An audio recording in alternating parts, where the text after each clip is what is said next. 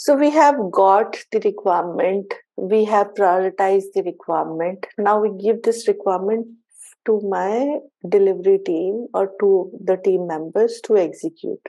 My team members gonna create and start delivering the requirement.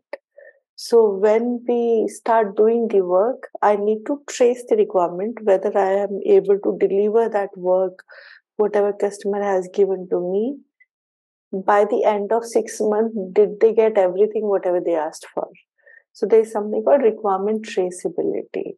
And we create a traceability structure. What is it? This is a traceability structure for software project. So we typically say requirement traceability matrix. We have project name, blah, blah, blah. And each requirement has an ID.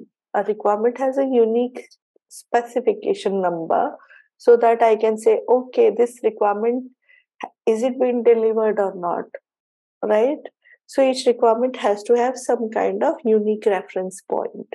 So we give a requirement ID and it can have sub requirement. For example, a registration page should be for a registration page for vendor, a customer, or for a admin user. So there are three registration page which we need to make.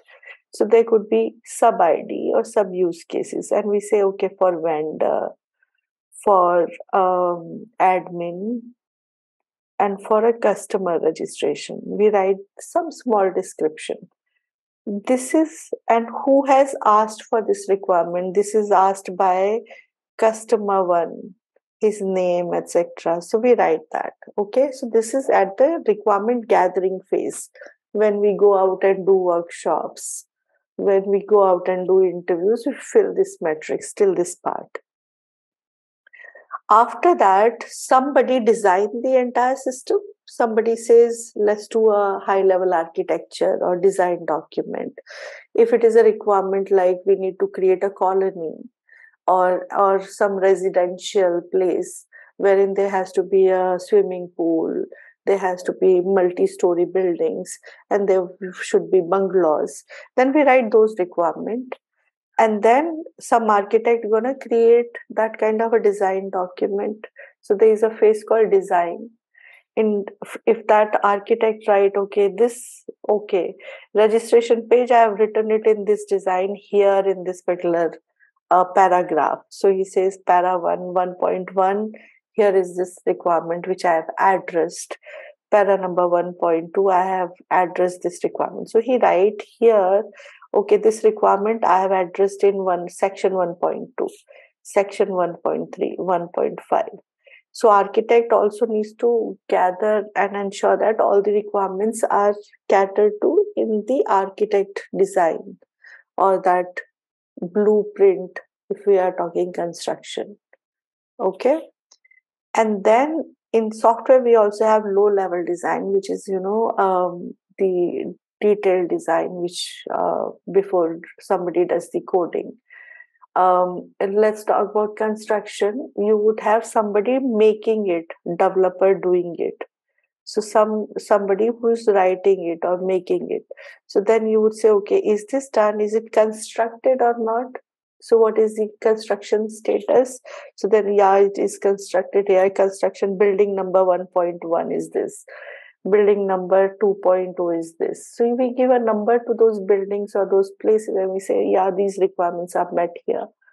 Uh, testing has to be done. And then customer also does testing based on the requirement which they have done.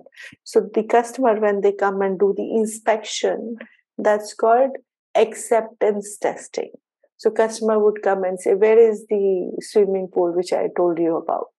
So then you would he would go and check the swimming pool. Yeah, it is available. Is this same specification which I told you? So he would check the specification, the, height, the feet and width, and then he would say, yeah, the, the swimming pool is fine. What about the conference room? Is this the same specification? So these are acceptance testing.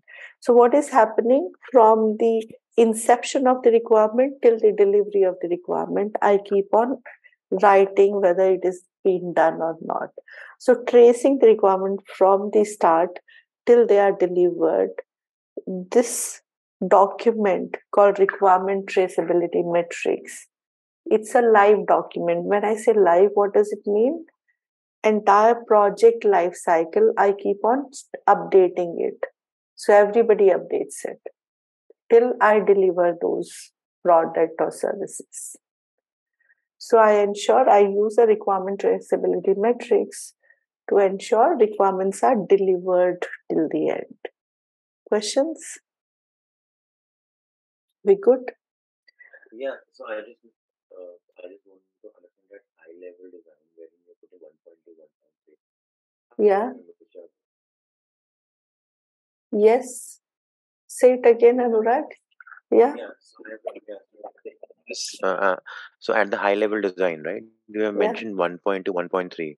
I Right. missed it. How like I like I just skipped it here so, somewhere. So why Okay. 1.2 and 1.3? So a high level designer guy gonna create a design document, right? He would create what is the software he or she gonna use, what is hardware which is being used, and then he would write, okay, registration page should be of this type, this registration page should be of this type, and so on. So an architect gonna design a architect diagram or a high level design diagram.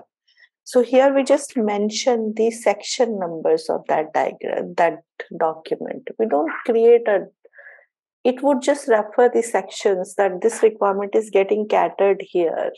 For example, Okay.